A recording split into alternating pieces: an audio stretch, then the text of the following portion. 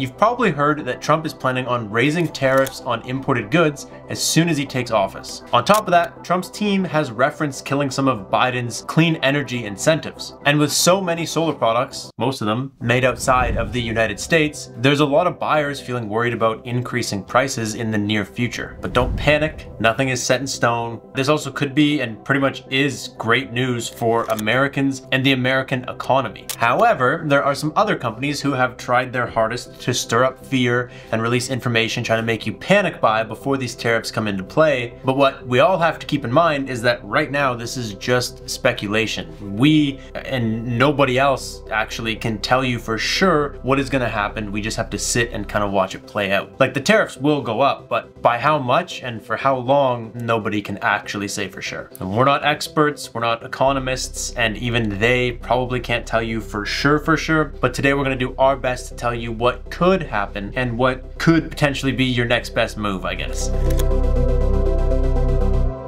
So welcome back to the lab. Before everyone freaks out, let's pump the brakes and talk about what we actually know. It's true that Trump's administration has released their intentions to raise these tariffs, with many of them expected to be as high as 25%. There's a lot of nuance to it. He's threatened specific companies up to like 100%. It's as a general, it's like 25%. These tariffs are supposed to start on day one of Trump's second term, and they could apply to inverters, batteries, solar panels, and even power stations. And while this could sound intimidating, it's actually nothing new. Back in March, Biden released tariffs on solar cells to basically try to combat the Chinese market. And he basically just did this to try to limit manufacturing of all the solar products that's happening outside of the US. Basically, he was trying to stop China from owning the solar industry and suppressing prices so badly that we just simply don't buy from our own economy. And even with Biden's term and cognizant ability both coming to an end,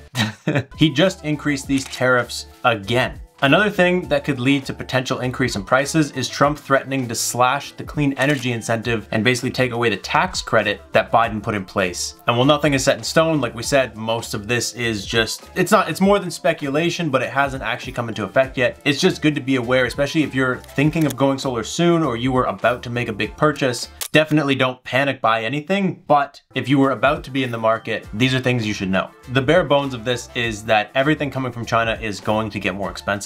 By how much? We aren't sure. But the good news is the goal is to have the US economy pumped up a little bit and start doing more manufacturing back here, which creates more jobs and brings more money back to the people. So should you start panic buying? No. Unless you're trying to use our affiliate links and support the channel before the year is up, thank you. Otherwise, no.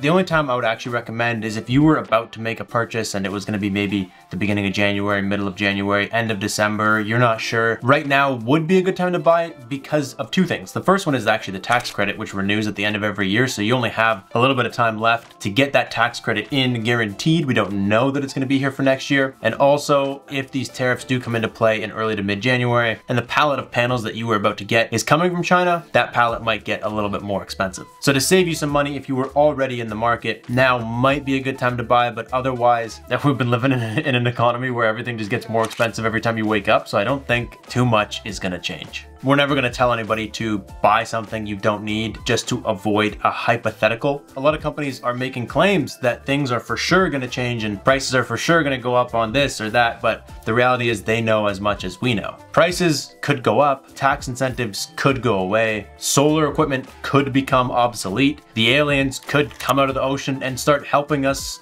install solar panels on our roof. We don't know, dude. We're just meat sacks flying around on a big rock with nothing better to do than sit here and speculate. What we do think is solar probably isn't going away. I think it's still in the very early years of what it's gonna become. And hindsight is always 2020. In a year, you'll be like, oh, I should have bought in the past. So that's all we got for you guys. We just wanted to bring some clarity to this because we've seen a lot of people shoving misinformation around and there's really no room for that right now. So that is it. That is all we got for you guys. Make sure you guys like this video or subscribe if you are not already and we will catch you in the next one. Be careful who you take your information from. Thank you so much for watching. Peace out and stay charged.